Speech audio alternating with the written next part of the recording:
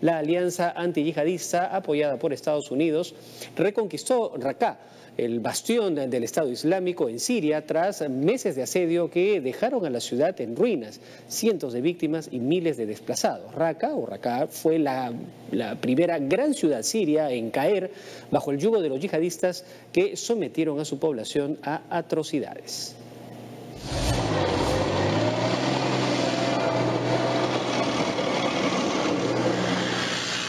Las fuerzas democráticas sirias han celebrado la liberación de Raqqa con un tanque que ha derrapado tal como lo hicieron los yihadistas del Estado Islámico en 2014 tras la declaración del califato. La caída de Raqqa es el golpe más duro que ha recibido el Estado Islámico desde que las fuerzas iraquíes recuperaron Mosul, la otra capital del yihadismo, pero en Irak.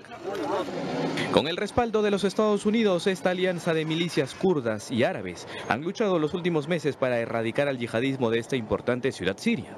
Este martes los militares han empezado a remover los escombros producto de los enfrentamientos. Según el Observatorio Sirio de Derechos Humanos, más de 3.000 personas murieron en medio de la batalla por Raqqa. Un tercio eran civiles, otros miles de residentes se vieron obligados a dejar la ciudad desde el domingo.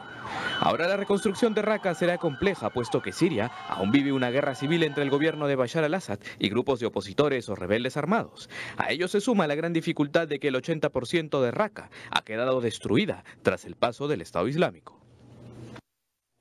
Fari, sería interesante entender qué son las fuerzas democráticas sirias uh -huh. y, por ejemplo, cómo se conformaron estas. Claro, eh, originalmente, digamos, el grueso de sus eh, milicianos son eh, de etnia kurda y pertenecen a las unidades de protección popular, una milicia a su vez kurda, aliada del Partido de los Trabajadores del Kurdistán, que es un partido kurdo pero iraquí, no sirio, y al que eh, tanto Estados Unidos como la Unión Europea consideran una organización terrorista opuesta al gobierno de Erdogan en, en, eh, en Turquía.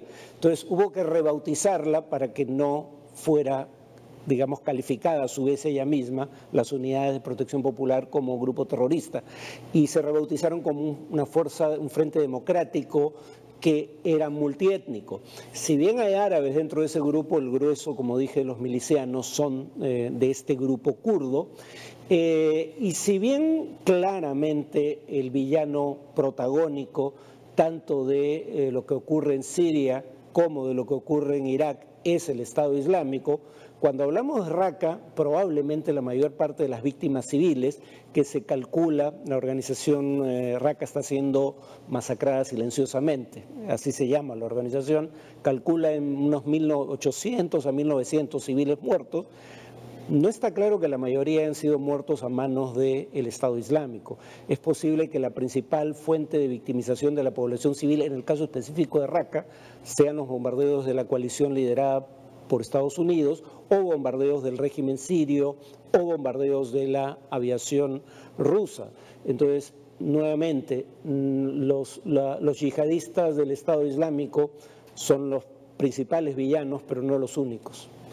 Y esta toma de posesión de Raqqa significa, digamos... Ah, es, era formalmente el... Eh, el, eh, la, capital la, capital de lo que de... pretendía ser el Estado Islámico, como el nombre lo indica, pretendían ser un Estado con una capital, y es la última ciudad eh, de alguna significación que tenían bajo control y que acaban de perder. Entonces ahora el, llamado, el autodenominado Estado Islámico se convierte en un grupo terrorista clandestino, básicamente, y hay un riesgo aquí de que se repita en Siria lo que está pasando ahora en Irak y es que quienes se aliaron contra el Estado Islámico, una vez que lo derroten, empiezan a pelear por el control de los territorios que en algún momento tuvo bajo su mando el Estado Islámico.